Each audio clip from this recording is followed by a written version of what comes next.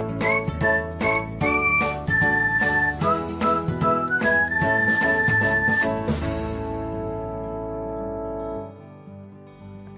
everyone, welcome back to another episode of Technology Glance. In this video, I'm going to guide you through how you can let everyone mention you on threads. So, let's get started. Watch till the end and don't forget to subscribe to Technology Glance by hitting the subscribe button and press the bell icon so that you'll never miss another update.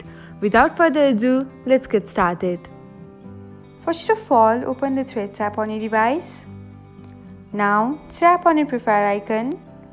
Next, select the hamburger menu.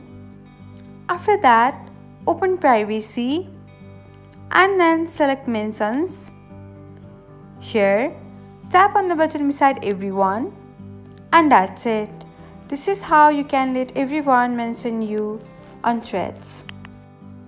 Thanks for watching. If you found this guide helpful, we will love it if you hit the thumbs up button below.